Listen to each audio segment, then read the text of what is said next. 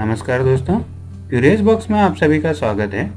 आज के अपने इस वीडियो में हम एक आईपीओ को रिव्यू करने वाले हैं, जो कि कुछ ही दिनों में मार्केट में आने वाला है, जिसका नाम है T C N S clothings limited इस वीडियो में हम इस आईपीओ का डिटेल रिव्यू करके देखेंगे, इस कंपनी के बारे में जानेंगे कि कौन सा कारोबार ये कंपनी करती है, इसके फाइनेंशियल स्टेटस क्या है, इसका रेवेन्यू क्या है, इसके वैल्यूएशंस क्या हैं, और आखिर में हम इसका ग्रे मार्केट प्राइस यानी कि जीएमपी के साथ साथ हम ये पता करने की कोशिश करेंगे कि अगर इस आईपीओ में आप अप्लाई करते हैं तो आपको लिस्टिंग गेन होने की कितनी संभावना बन जाती है।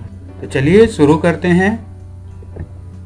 तो सबसे पहले तो मैं आपको आईपीओ की टाइमलाइन के बारे में बताना चाहूँगा। तो इस आईपीओ की जो ओपनिंग है, वो 18 जुलाई 2018 से होने वाली है। इस आईपीओ में अप्लाई करने की जो लास्ट डेट रहेगी, वो 20 जुलाई की निर्धारित की गई है। आईपीओ के बारे में आपको अलॉटमेंट हुआ है या नहीं हुआ है, इसकी जानकारी 25 जुलाई तक आपको पता चल जाएगी। इन केस किसी को अगर अलॉटमेंट नहीं होता है तो उसका जो पैसा है, वो उसके अकाउंट में रिफंड कर दिया जाएगा छब्बीस जुलाई तक। और इस आईपीओ की जो लिस्टिंग है एक्सचेंज के अंदर, वो 30 जुलाई से शुरू हो जाएगी। यानी कि 30 जुलाई से आपकी नॉर्मल ट्रेडिंग स्टार्ट हो जाएगी। अगर आपको अलॉटमेंट हुआ है और आप लिस्टिंग गेन लेकर के निकलना चाहते हैं तो अपने शेयर्स जो हैं, आप 30 तारीख को बेच करके निकल सकते हैं। अब अगर इस आईपीओ के बेसिक डिटेल्स के बारे में मैं आपको बताऊँ, जिसमें सबसे पहले इसका इशू साइज़ जो है वो बताता हूँ तो इशू साइज़ जो इस आईपीओ का है, वो 1125 करोड़ रुपए का इशू साइज़ है इस आईपीओ के लिए। इसमें जो फेस वैल्यू सेट की गई है, वो दो रुपये प्रति इक्विटी शेयर का इसका फेस वैल्यू रहेगा। वहीं अगर हम प्राइस बैंड की बात करें तो 714 यानी कि 714 से लेके 716 रुपीस का इसका प्राइस बैंड सेट किया गया है। वहीं लॉट साइज़ जो है वो 20 शेयर्स का एक लॉट रहेगा, यानी कि अगर आप एक लॉट अप्लाई करते हैं तो आपको चौदह हज़ार तीन सौ बीस रुपये देने पड़ेंगे, यानी कि fourteen thousand three hundred and twenty rupees आपको ब्लॉक करना होगा अपने अकाउंट की तरफ़ से। और इसकी जो लिस्टिंग है वो बीएससी और एन दोनों ही एक्सचेंज में हो जाएगी। दोस्तों, आपको एक और बात बताना चाहूँगा। मेरा एक टेलीग्राम का चैनल भी है, जिसमें मैं स्टॉक मार्केट से रिलेटेड जो भी अपडेटेड न्यूज़ मुझे पता चलती है, मैं सुबह ही नौ बजे से पहले शेयर करता रहता हूँ और जो भी मेरा स्टॉक मार्केट से रिलेटेड एनालिसिस रहता है, वो भी मैं अपने उस चैनल पर शेयर करता रहता हूँ। तो अगर आपको मेरा टेलीग्राम का चैनल ज्वाइन करना है तो उसका जो लिंक है, मैंने वीडियो के डिस्क्रिप्शन में दिया हुआ है, या फिर आप मुझे वीडियो में कमेंट करके भी मेरे उस चैनल का लिंक मुझसे पहुँच सकते हैं। अब आगे चलिए, इस कंपनी के बारे में हम देखेंगे कि आखिरकार कंपनी क्या काम करती है, किस तरीके की कंपनी है, उसके प्रोडक्ट्स क्या हैं, वो सारी डिटेल्स अब हम आगे चल के डिस्कस करने वाले हैं। तो सबसे पहले तो इस कंपनी की शुरुआत में बताना चाहूँगा, ये जो कंपनी है, दिल्ली बेस्ड एक कंपनी है, जिसकी स्थापना 1997 में हुई थी। काफ़ी पुरानी कंपनी है, लगभग 20 साल पुरानी कंपनी हो चुकी है। इनका जो कारोबार है, वो बेसिकली जुड़ा हुआ है कपड़ों के सेक्टर से, जिसमें ये लोग काम करते हैं। कपड़ों का डिज़ाइन करने का, उनको मैन्युफैक्चरिंग करने का, उनको मार्केटिंग करने का और साथ ही साथ और साथ ही साथ रिटेलिंग का जो ब्रांडेड अपेरल्स या रहते हैं स्पेसिफिकली वुमेंस के जो कपड़े होते हैं लेडीज़ के जो कपड़े होते हैं, उनको डिज़ाइन मैन्युफैक्चरिंग एंड मार्केटिंग करने का काम ये कंपनी करती है। ये जो कंपनी है, इंडिया की largest women's branded apparel company है इन टर्म्स ऑफ़ अगर हम एक्सक्लूसिव ब्रांड आउटलेट देखें, यानी कि इनके जो आउटलेट रहते हैं, उस हिसाब से ये जो कंपनी है, इंडिया की लीडिंग और सबसे अच्छी बड़ी कंपनी में से मानी जाती है।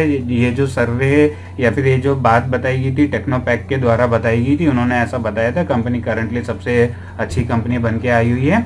इनके जो प्रोडक्ट्स हैं, वो सिर्फ़ रिटेलर्स के पास नहीं बेचे जाते हैं, ये वेबसाइट्स के थ्रू भी बेचे जाते हैं और साथ ही साथ ऑनलाइन रिटेलर्स जो रहते हैं वो, यानी सिर्फ़ शोरूम में ही नहीं, आप ऑनलाइन के थ्रू भी इनकी जो कपड़े हैं, इनके जो ड्रेसेस हैं, वो इजिली बाई कर सकते हैं। तो ये इनके लिए एक तरीके से नया विंडो भी एक तरीके से बन चुका है, जहाँ से ये लोग अपने रेवेन्यू को जनरेट करना शुरू कर चुके हैं।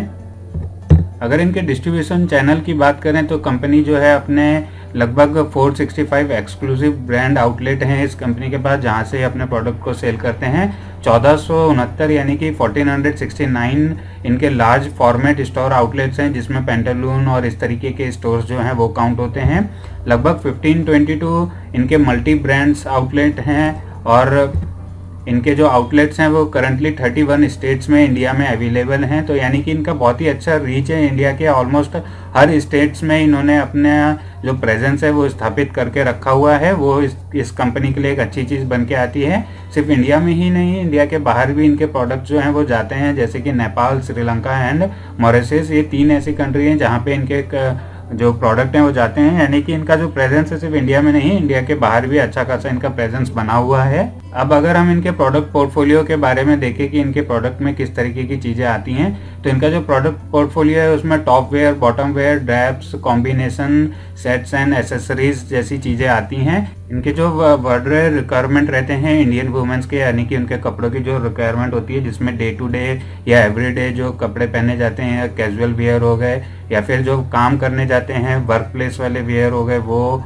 या ओकेजनल वेयर हो गए तो उस तरीके के कारोबार या उस तरीके के कपड़े बना करके या सीजनल वाले जो कपड़े होते हैं, वो इनके बनाते हैं। इनके अगर लार्ज फॉर्मेट स्टोर्स बोलें, जिसमें कि पेंटालून्स आते हैं सॉपर स्टॉप्स आता है या लाइफ स्टाइल आते हैं, वहाँ पे अपने प्रोडक्ट को बेचते हैं। और ऑनलाइन रिटेलर्स की बात की जाए तो मैंत्रा जबोंग अमेजोन जैसे कंपनी के साथ इनका टाइप है, वहाँ पे भी इनके प्रोडक्ट जो हैं ऑनलाइन सेलिंग होती है। अब अगर मैं इनके ब्रांडेड्स की बात करूँ, जिन ब्रांड के अंदर ये अपना प्रोडक्ट को बेचते हैं तो इनके बेसिकली तीन ब्रांड में इन्होंने कैटेगराइज किया है, जिसमें पहला ब्रांड है डब्लू ब्रांड से बोला जाता है, जो कि एक प्रीमियम ब्रांड है, जो कि टारगेट करता है वुमेन्स के कैजुअल एंड वर्क वेयर को।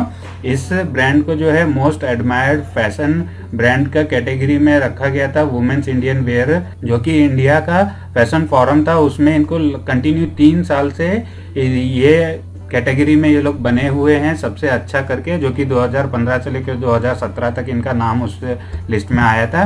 सेकंड जो है, वो है ओरिला जिसके अंदर ये कॉन्टेम्पोरी एथनिक वेयर्स जो है वो ब्रांड आता है। जिसके थ्रू अगर रेवेन्यू ग्रोथ की बात की, की जाए तो लगभग 70 परसेंट सीजीएआर से इनका जो रेवेन्यू है 2013 से 2017 तक ग्रो हुआ है जो कि एक बहुत ही अच्छी चीज़ है। और विशफुल करके इनका तीसरा ब्रांड आता है जिसमें प्रीमियम ओकेजन वेयर आ जाते हैं जिसका जो रेवेन्यू है लगभग 66 परसेंट से ग्रो हुआ है 2013 से लेकर 2017 के बीच में। तो ये तीनों ही एक ऐसे ब्रांड है जिनके अंदर ये कंपनी काम करती है। अब अगर इस कंपनी के हम पॉजिटिव्स की बात करें, जो कि आने वाले दिनों में हो सकती है तो जैसा मैंने सबसे पहले बताया कि इनका जो ब्रांड है, वो बहुत ही अच्छा है। तीन ब्रांड के अंदर ये काम करते हैं, और सिर्फ़ ऑनलाइन नहीं ऑफलाइन हर जगह से इनको रेवेन्यू आता है। इनका जो प्रेजेंस है, वो बहुत ही अच्छा बना हुआ है। इनका जैसे मैंने आपको बताया कि पूरे इंडिया में लगभग 31 स्टेट्स में इनके प्रेजेंस है तो पैन इंडिया प्रेजेंस है मल्टी चैनल डिस्ट्रीब्यूशन नेटवर्क के थ्रू इनका जो प्रोडक्ट है वो सेल होता है तो वो भी इनके लिए एक अच्छी चीज़ है। रिच प्रोडक्ट पोर्टफोलियो है वाइड रेंज ऑफ़ डिज़ाइन है फिट्स हैं तो वो भी इनके लिए एक अच्छी चीज़ है और इनका जो superior and diversified product portfolio है, वो भी इनके लिए एक अच्छी चीज़ है। तो ये कुछ चीज़ें हैं जिनकी वजह से इस कंपनी के लिए एक आने वाले दिनों में अच्छा जो फ्यूचर है वो हमको नज़र आता है या फिर आप बोल सकते हैं इनकी जो ग्रोथ है वो अच्छी हो सकती है। अब अगर हम इनके आईपीओ के ऑब्जेक्टिव की बात करें कि आखिरकार ये आईपीओ क्यों लेके आना चाहते हैं तो उनका कोई बेसिक उद्देश्य नहीं है। सिर्फ़ लिस्टिंग का बेनिफिट ये लोग लेना चाहते हैं कि ऑफ़र फॉर सेल है, जो इनके करंट शेयर होल्डर हैं और वो निकलना चाहते हैं, उनके लिए ये रहेगा।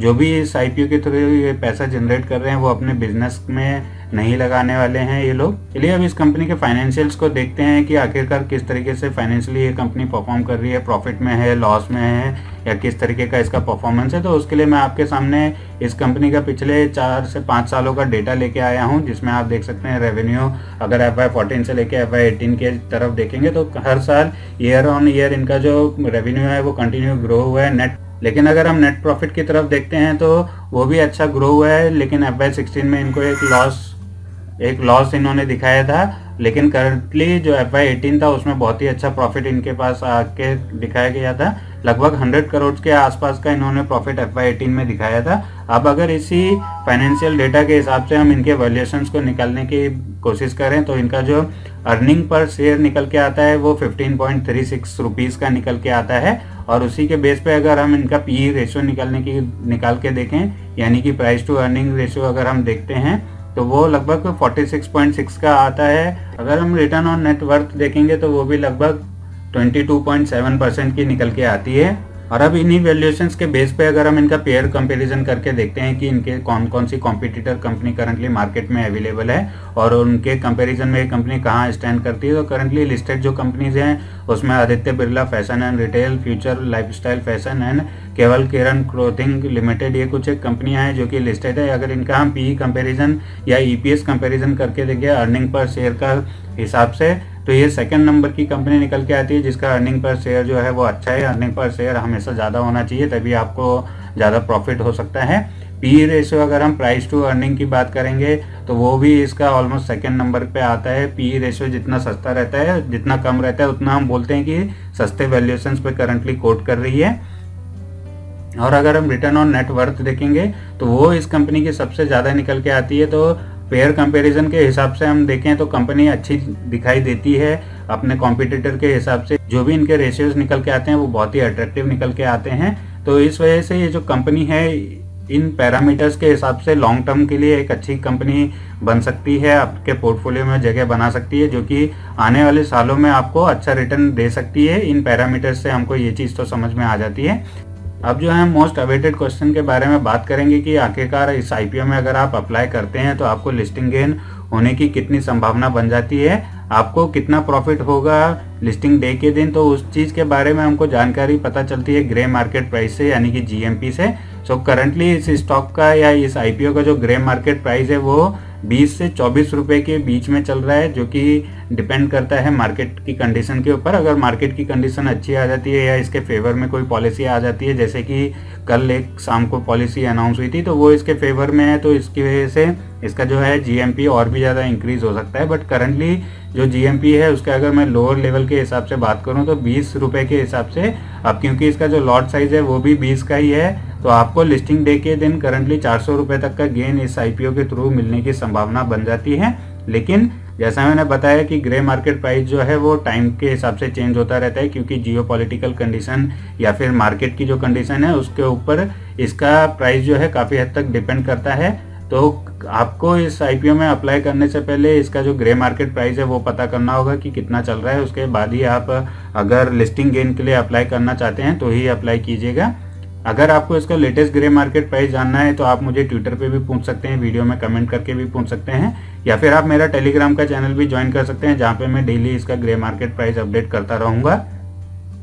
मेरा ट्विटर और टेलीग्राम का जो लिंक है, मैंने वीडियो के डिस्क्रिप्शन में दिया हुआ है, आप वहाँ से जाकर के भी मुझे ज्वाइन कर सकते हैं। एज अ डिस्क्लोजर बताना चाहूँगा, जो भी इन्फॉर्मेशन मैंने इस वीडियो में प्रोवाइड की है, वो सिर्फ़ एजुकेशनल पर्पस और इन्फॉर्मेशन शेयरिंग पर्पस के लिए आपके साथ मैंने शेयर किया है। मैं किसी को भी रिकमेंडेशन या सजेशन नहीं दे रहा हूँ कि आप इस आईपीओ में अप्लाई करें। अगर मेरी दी हुई इन्फॉर्मेशन आपको यूजफुल लगती है तो एक बार आप अपनी तरफ़ से भी रिसर्च करें या फिर अपने किसी भी ट्रस्टेड स्टॉक ब्रोकर से या फिर फाइनेंशियल एडवाइजर से एक बार डिस्कशन करने के बाद ही इस आईपीओ में अपनी कोई भी पोजीशन बनाने का फैसला लें।